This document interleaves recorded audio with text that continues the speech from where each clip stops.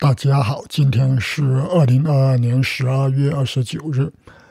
中国号称又搞出了一种能够治疗新冠的神药，啊，叫做 VV 幺幺六。啊，这两天呢，中国的媒体都在宣传这个治疗新冠的特效药。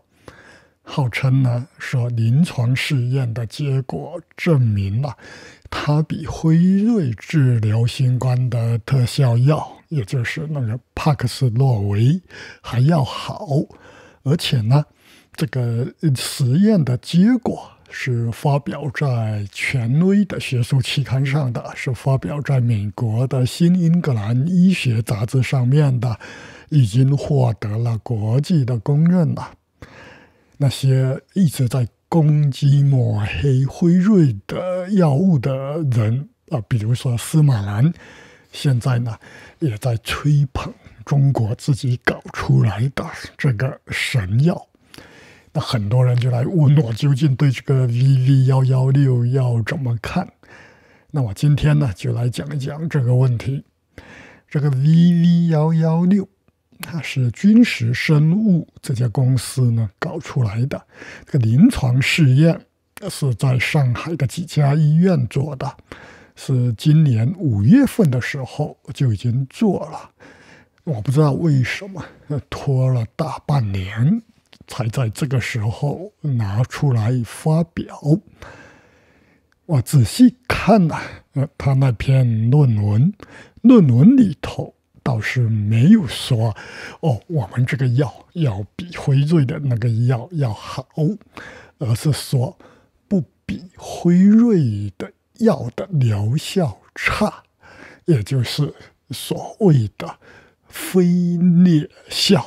这个是有一个术语的，就是证明说，呃，这个药物要比另外一种常规的药物比起来呢不差。叫做非劣效，但是呢，根据这篇论文的内容，它这个实验的设计，还有呢，号称取得的那个结果，都是有问题的。我先来说一说这个实验设计的问题。他号称做了三期的临床实验。那临床试验设计的一个重要的金标准，那就是要双盲。这个也就是说，病人啊不知道自己服用的是哪一种药，这样的话就不会说产生这种啊心理暗示的作用。医生护士也不知道病人。服用的是哪一种药？这样的话，你在判断疗效的时候呢，就呃不会出现这种主观的偏差了。但是呢，他这个临床试验没有做双盲，而是单盲，病人不知道服用的是哪一种药，但是呢，医生是知道的。这样的话，在判断疗效的时候，就会出现主观的偏差了。那为什么你不采用双盲而采用单盲呢？那负责这个试验的人解释说：“哦，说是因为呃时间紧，呃做不出来模仿辉瑞的那个药物的假药啊，所以呢。”只好做了妥协，改用了单盲了。我原来中国的药厂的造假技术这么差，呃，居然做不出外形呃跟辉瑞的药一模一样的假药出来了，作为安慰剂来用，连印度的小作坊呃都还不如。啊，现在在中国卖火了的那个所谓的印度的仿制药。我查了一下，就是一家小作坊做出来的啊，那家公司的注册资本只有一万元人民币，我怀疑是中国人跑到印度去注册，然后专门就卖到中国来的。但是即使是印度的小作坊做出来这个药，它至少外形上跟辉瑞的那个药是一样的。啊，有没有含有辉瑞的药的成分？那另说，极可能是没有那个成分的，但至少外表上看上去是类似的。所以，你难道中国的这些大药厂居然连这么简单的模仿外形的技术都不具备吗？都做不出来吗？所以，这个是呃匪夷所思的，好吧？但不管怎么样，你这个实验的设计是有缺陷的，那么呢，他要达到的那个结果也是很成问题的。这个临床试验的目的是为了证明说，哦，我们这个药 VV 幺幺六的疗效不比辉瑞的药的疗效差。那辉瑞的药的疗效指的是什么呢？大家知道，辉瑞的这个药是让那些高危的人群服用的，是在。症状出现的五天之内服用了，然后呢，能够降低轻症转重症这个可能性呢，降低了百分之九十的。那么你要跟人家辉瑞的药比疗效，那就应该证明说，哦，如果在出现症状的五天内，高危的人群呢，服用了以后。那么能够降低轻症转重症的这个风险，达到百分之九十，甚至呢更高，那才能够说明说，我这个药不比辉瑞的药差，对不对？但是没有，虽然这个临床试验当时提出来的目的，就是为了证明说轻症转重症的。风险大大的降低了，要比辉瑞的药是不差的。但是呢，后来把这条给去掉了，为什么呢？因为说参加试验的这些病人呢，不管是哪一组，是吃辉瑞的药的，还是吃这个 VV 幺幺六的。都没有一个转成重症，没法比了。说是因为哦，现在奥密克戎这个毒性太弱了，轻症转重症不容易了，所以呢就没有一个转重症了。奥密克戎的毒性是不是弱到了让你临床实验都没法做的这个地步呢？没法去做，究竟有多少的轻症转重症呢？那当然不是了。我举一个例子好了，默克治疗新冠的那个药，我叫做雷神的锤子的那个药，最近呢刚刚在英国完成了临床试验。结果呢，表明那说这个药，它轻症转重症的这个比例呢，跟吃安慰剂的那个那一组呢比例是一样的，都是多少？都是百分之一。而且呢，它这个实验针对的。是那些已经普遍接种了疫苗的人群，也就是说，他们是属于一种低危的人群。那么，即使是低危的人群，他这个重症率还有百分之一呢，更何况是高危的人群。这个 VV 幺幺六的这个临床试验是最后有。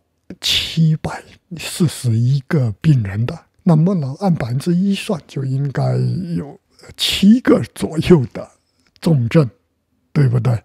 何况呢，这个百分之一指的是低危的人群，而这个试验号称呢是针对的高危的人群，那这个重症率应该高得多了，应该有那么几十个重症才对的，怎么可能说一个都没有呢，所以呢，这个结果呢是让人觉得很可疑的。这很可能呢，就是把那些重症的都给排除掉了啊！发现呢，也吃这个 VV 幺幺六的这一组重症的人数呢，要比吃辉瑞的那一组重症的人数太多了，干脆都不算了啊！这个当然是我的推测了，因为从他的这个实验数据看，他排除了很多人的。入组的人数本来有接近一千人的，但到最后呢，只留下了七百四十一个人，排除掉了非常多的，所以呢，就让人觉得呢是很可疑的。那好，这个 VV 幺幺六并没有证明说哦能够预防轻症转重症，那么他凭什么说我们这个药的疗效要比辉瑞？的好，或者说不差呢？他们是从另外一个角度来证明的，是从所谓的就缓解症状的这个角度来证明的。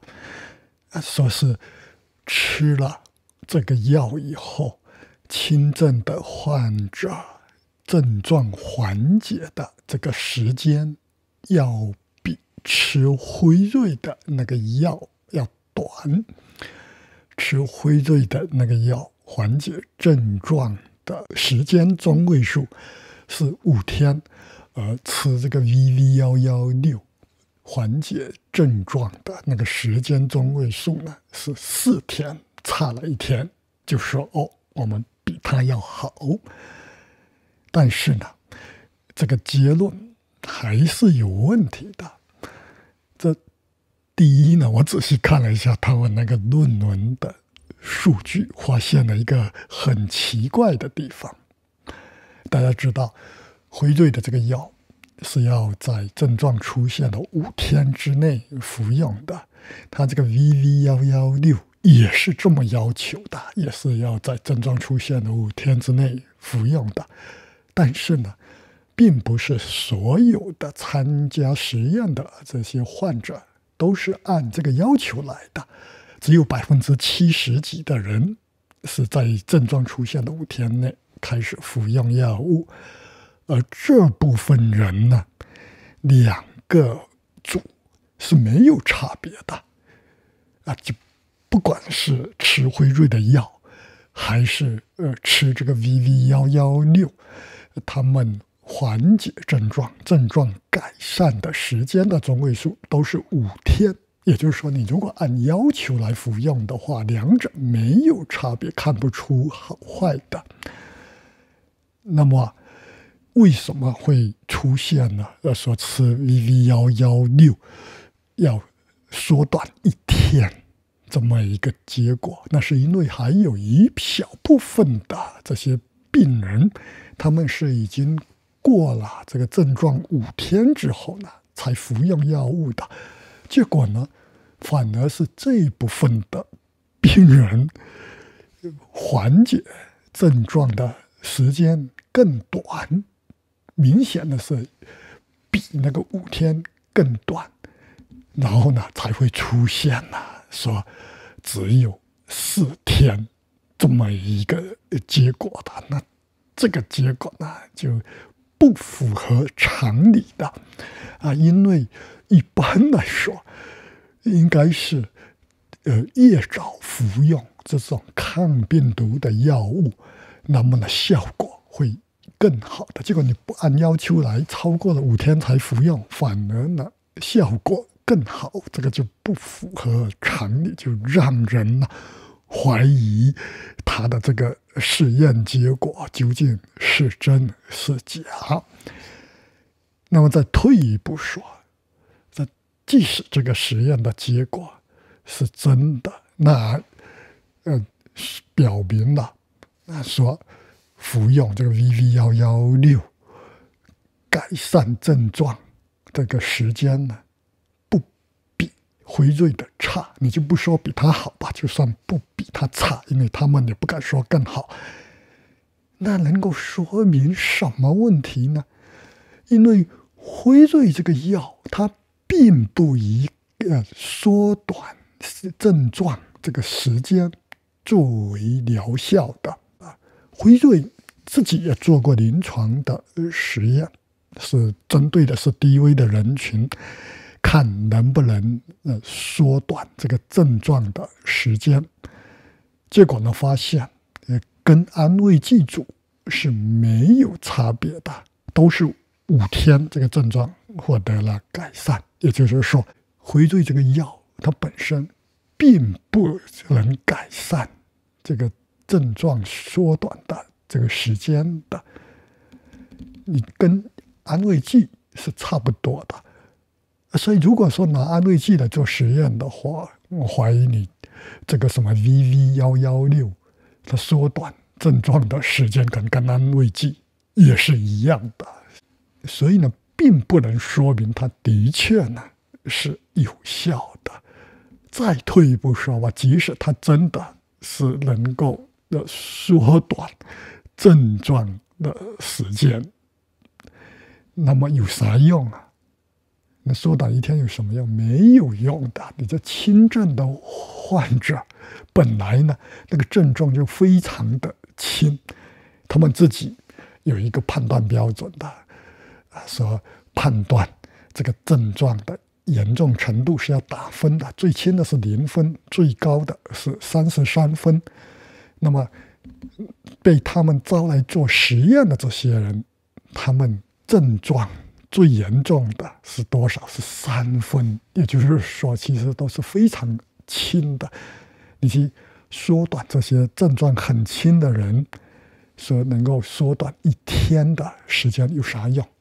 没有用的。所以。这样的药物根本呢就不值得去服用的，即使它的这个临床结果是真的话，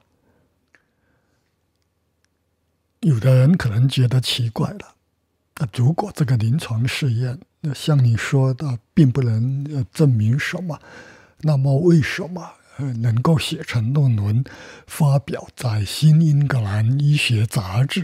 啊，这份号称比较权威的医学杂志上呢，你要在一个学术期刊上，即使是在所谓的比较权威的学术期刊上发表论文，只要呢有两个或三个审稿人同意就可以了，而且呢，这个审稿啊未必是审的很认真的。很多人那审这个稿了，是很马马虎虎的，就这么随便让你过了。一般呢也不会呃去找这个投稿的人要原始数据的，只是来看一下你这个论文本身的。所以，即使是在这种所谓的顶级期刊上发表的论文。往往呢也会存在着很多问题的。我在读博士生的时候，我们实验室是每周要开一次会。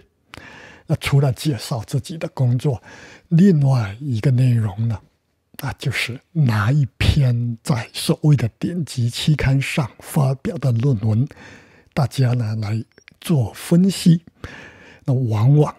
都能够找出一大堆的问题的，所以呢，即使是审过稿、发表在顶尖期刊上的论文，也未必是靠得住的。大家不要去迷信这种所谓的顶级期刊，更何况你这个顶级期刊有时候呢，发表不同的论文会互相的冲突的。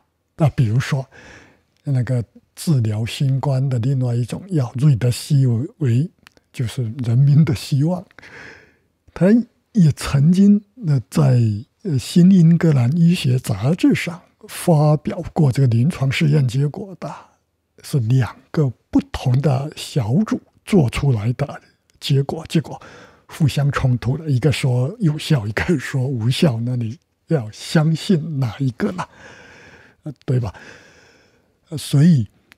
在学术期刊上发表的论文，不等于就证明了它是有效的。更不等于说是像国内的媒体宣传的那样获得了国际的承认。那么，你要怎么证明一个药物的确是有效的呢？第一呢，你要认认真真的、严严格格的做三期的临床试验，随机的、双盲的、有安慰剂对照的临床试验。现在呢，这个 VV 幺幺六号称也在做这样的三期临床试验。那么呢，我们就等他这个三期临床试验的结果出来再说了。啊，不过呢，我想提醒大家一下，如果他这个三期的临床试验跟刚才说的那个临床试验一样是在上海做的，或者呢，在中国的其他地方做的，那么呢，我是不信的。那为什么呢？因为中国的医疗系统是极其腐败的，做出来的临床试验结果是不可信的。你想要什么结果，哇，就给你什么结果。第二呢，你做出了临床试验结果之后呢，那么呢，应该是提交给药监部门，由他们来审核批准。上市的，但是呢，如果是让中国国家药监来审、来批的话，那也是不可信的，因为中国药监呢，那是随便乱批这个药物上市的，更何况呢，本身也是极其腐败的。真正可信的、被世界公认的是。美国 FDA 美国食品药品管理局，所以你如果对自己的临床试验结果很有信心的话，那么呢，你就应该是去向 FDA 申请批准上市。FDA 要批准是非常的严格的，需要你。提供各种各样的原始的数据的，是要由十几个专家呃来呃评估、来审的。像辉瑞的那个药，它就是做完了临床试验，而且呢由 FDA 批准上市了，而且呢在实际的。使用当中也被证明了，的确是非常的有效，这个就值得我们信任。所以，在这个所谓的 VV 幺幺六做完临床试验，而且呢获得 FDA 批准之前呢，我们都没有必要去相信它，不管媒体怎么吹。好。今天的节目就做到这里，下次的节目再见。